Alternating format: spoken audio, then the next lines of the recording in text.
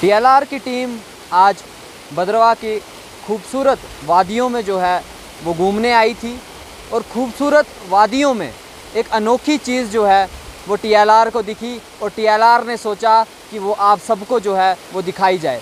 नमस्कार तो आप सभी देख रहे हैं टीएलआर और इस समय भद्रवा के अंदर जो है, वो मौजूद हैं इस समय हम। और मैं आपको दिखाना चाहूँगा कि किस तरह से यहाँ पे आप देखेंगे कि बदरवाव काफ़ी खूबसूरत है और खूबसूरती के हिसाब से आप यहाँ पे देखेंगे कि एक गराट जो है वो बनाई गई थी। एक समय की बात थी जिस समय इस गराट को बनाया जाता था और इस गराट का जो था वो यूज़ किया जाता था।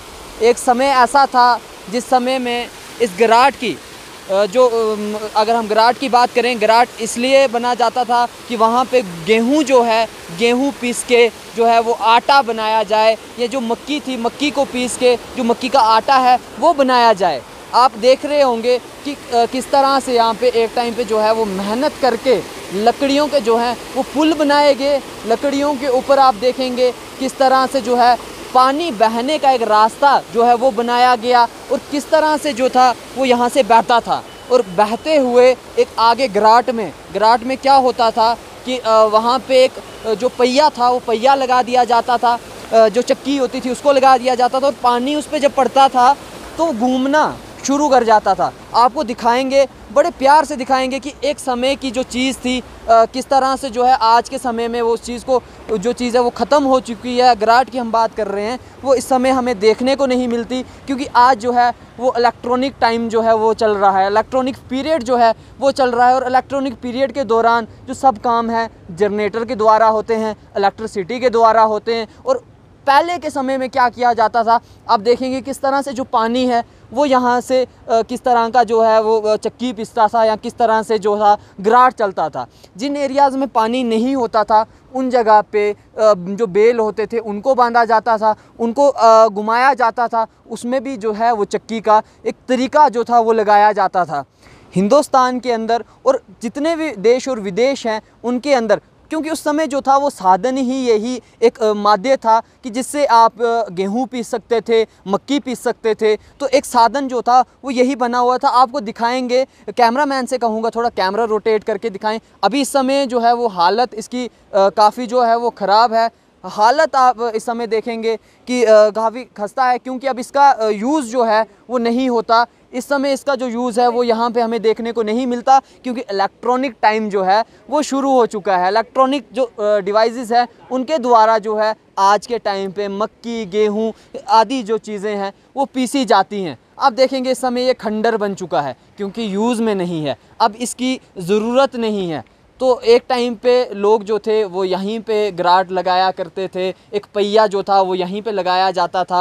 आप देखेंगे कि इसके बीच में आपको दिखेगा एक स्पेस आपको कैमरामैन को कहूँगा थोड़ा सा आप अंदर जाएँ। अंदर जाके आप देखे दिखाएँ कि एक यहाँ पे आपको थोड़ा सा स्पेस दिख रहा होगा ना। ये स्पेस में अ, क्या होता था कि पानी जो है वो ऊपर से बहता था। यहाँ पर एक पहिया लगाया जाता था एक चक्की जो थी वो लगाई जाती थी। तो उसके द्वारा जो है वो चक्की पूरी जो थी वो गोल घूमती थी पानी चलने की वजह से। जैसे आपने देखा होगा कि इलेक्ट्रिसिटी कैसे बनती है डैम्स में क्या होता है वहाँ पे भी आपने देखा होगा कि जो विंड्स हैं वो किस तरह से घूमती पानी का जो प्रेशर पड़ता है तो किस तरह से घूमती है उस तरह का ही पहिया यहाँ पे भी जाता था। वहाँ पे ये चीज़ें की जाती थी और मैं आपको बता दूँ टर्बाइन जिस तरह टर्बाइन कहते हैं हम तो टर्बाइन वो जो थी वो यहाँ पर घूमती थी और कहीं ना कहीं लोगों का उस समय एक माध्यम भी था कमाने का जो था वो माध्यम था गेहूँ वगैरह आदि उस समय पैसे की भी कोई ख़ास वैल्यू जो वो, वो नहीं थी। अगर कोई आटा पीसने आता था गेहूँ लेके आता था या मक्की लेके आता था तो उसमें से उससे ज़्यादा मक्की ले लिए जाती थी और पीस के जो है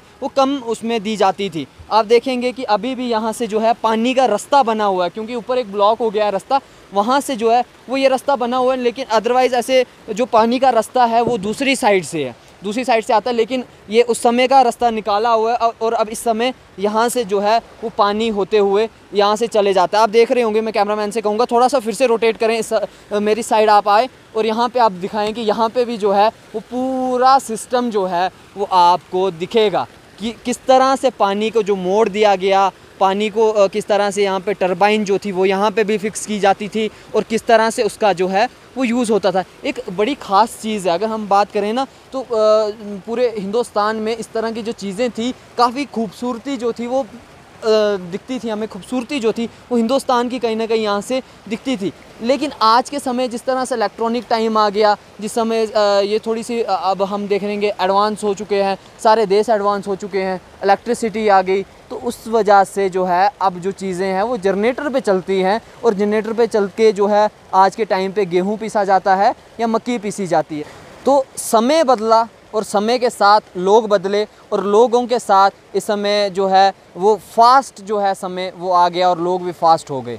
क्योंकि उस समय जब गर्राट से गेहूँ, मक्की पीसी जाती थी तो काफ़ी स्लो जो है, वो काम होता था। लेकिन अब जब इलेक्ट्रॉनिक टाइम आ गया तो काम, जो घंटों का काम था, वो मिनटों में होने लगा। और मिनटों में जब काम होने लगा तो इंसान का वक्त जो है, वो बचने लगा। और कम ज़्यादा कम समय में, जब कम समय में उनका काम जो है, वो ज़्यादा निकलने लगा तो मुनाफा भी कहीं ना कहीं ज़्यादा होने लगा। तो इन चीज़ों को छोड़ के, जो है, इंसान इलेक्ट्रॉनिक की तरफ़ भागा जिस तरफ़ आ, आ- आज के टाइम अगर हम बात करें जनरेटर आदि की बात करते हैं तो उस तरफ़ जो है वो ज़्यादा ज़ोर दिया गया। और इसी के साथ मैं आपको बताऊँ यहाँ पे इन एरियाज़ की अगर हम बात करेंगे तो जो लोग थे पहले अब इसी घराट के ऊपर चलते थे और कहीं भी अभी भी बहुत सारे एरियाज़ ऐसे हैं जहाँ पे घराट आज भी हमें देखने को मिलता है और घराट में आज भी गेहूँ आदि जो है वो पीसा जाता है। फिर वो कोई अपने ख़ास किसी ने अगर अपने घर के पास या अपनी ज़मीन में किसी ने गराड लगाया है तो वो अपने लिए और साथ में उस समय जो चीज़ें थी या जो हम खाते थे खाना, वो कहीं ना कहीं हेल्दी थी। आज के समय में आप सभी जानते हैं जिस तरह की खेती बाड़ी होती है, उसमें पेस्टिसाइड्स जो हैं वो डाले जाते हैं। उस समय खाद जो थी, वो गोबर की डाली जाती थी। तो उसकी वजह से जो था, काफ़ी हेल्दी खाना जो था, वो बन तैयार होता था। जो गेहूँ है मक्की है, चावल, काफ़ी जैसी जो चीज़ें हैं, हमें वो हेल्दी मिलती थी। अब ऐसा कुछ नहीं है। अब पेस्टिसाइड्स जो हैं, वो डाले जाते हैं। जो खाद है, वो डाली जाती है, जिसकी वजह से कहीं ना कहीं इंसानों पे भी अब असर जो है, वो देखने को मिलता है।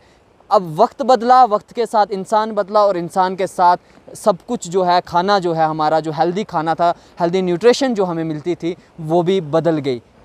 तो उस समय जब हेल्दी खाना जो है हेल्दी न्यूट्रिशन लोगों को मिलती थी तो काफ़ी ज़्यादा जो जीवन था वो व्यतीत करते थे और ख़ास करके कोई बीमारियाँ उनमें हमें देखने को नहीं मिलती थी। जिस तरह से आज के समय में अगर हम बात करें, जिस तरह का खाना हमें मिल रहा है मार्केट के अंदर आप कोई भी खाना लेते हैं, वहाँ पे आप देखेंगे कि किस तरह से आज जो है बीमारियाँ नई नई बीमारियाँ जो हैं, वो जागरूक हो रही हैं। किस तरह की नई नई बीमारियाँ जो हमने कभी सुनी भी नहीं थी, वो हमें देखने को मिल रही हैं। तो कहीं ना कहीं जो कारण है, वो कारण पेस्टिसाइड्स है, वो कारण जो है हाइजीनिक जो फ़ूड हम आज खा रहे हैं, जिन्हें किस तरह से बनाया जा रहा है केमिकल के द्वारा बनाया जा रहा है रिएक्शंस के द्वारा केमिकल रिएक्शंस के द्वारा जो है वो तैयार किया जाता है। आज आप देखेंगे, जो जिस चीज़ का सीज़न ही नहीं होता, जिन फ्रूट्स का सीज़न नहीं होता, वो आपको सीज़न से पहले पक्के मिल जाएँगे। कैसे हो रहा है?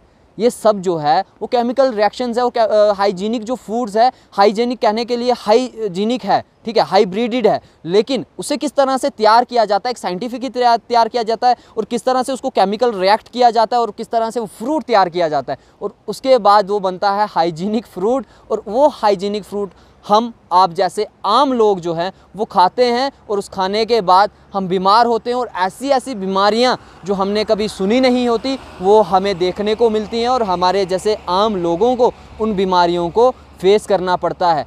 आखिरकार ये सब क्यों हो रहा है? क्योंकि हमने नेचर को छोड़ दिया है। जिस तरह से हम पहले खाद जो है वो गोबर की डालते थे, या जिस तरह से हम खेती बाड़ी करते थे, ज़मींदारी करते थे, वो चीज़ें आज हमें देखने को नहीं मिल रही हैं। तो एक छोटी सी चीज़ जो थी वो टीएलआर आपके लिए लेके आया था। आप देखते रहें टी मुझे दीजिए इजाज़त। नमस्कार।